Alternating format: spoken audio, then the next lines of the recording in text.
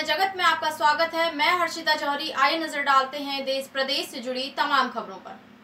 कुरावर थाना क्षेत्र के ग्राम लसुड़िया हाजी में एक ही रात में चोरों ने चार घरों के ताले तोड़कर चोरी की घटना को अंजाम दिया। इनमें से चोर लाखों रुपए का माल ले गए। पुलिस ने मामला दर्ज किया। मामला है ग्राम लसुड़लिया हाजी के चार घरों में चोरी की वारदात का। प्रथम वारदात देवनागर के घर से चोर एलईडी टीवी, पंद्रह हज़ार रूपए नकद व सोने की अंगूठी ले उड़े। दूसरी घटना मोरसिंह नागर से 400 ग्राम चांदी, नकद पैसे। महेश नागर के घर से 300 ग्राम चांदी व चौथी घटना, पास के ही गाँव नाई हेड़ी में हुई। कुरावर चौकी पुलिस चारों मामलों में प्रकरण दर्ज किया है। आचार संहिता लगते ही चोरों ने बोला धावा। आखिर पुलिस प्रशासन द्वारा यह चोर पकड़े क्यों नहीं जाते? इनकी तह तक क्यों नहीं पहुँचा जा सकता है? इन चोरों का इतना मनोबल कैसे बढ़ रहा है कि एक ही रात में वह चार घरों में चोरी कर सकते हैं? आखिर इन सब के पीछे क्या सच्चाई है? प्रशासन के हाथ सफलता क्यों नहीं लग पाती है? खबर समय जगत के लिए कुरावर से देवनागर की रिपोर्ट।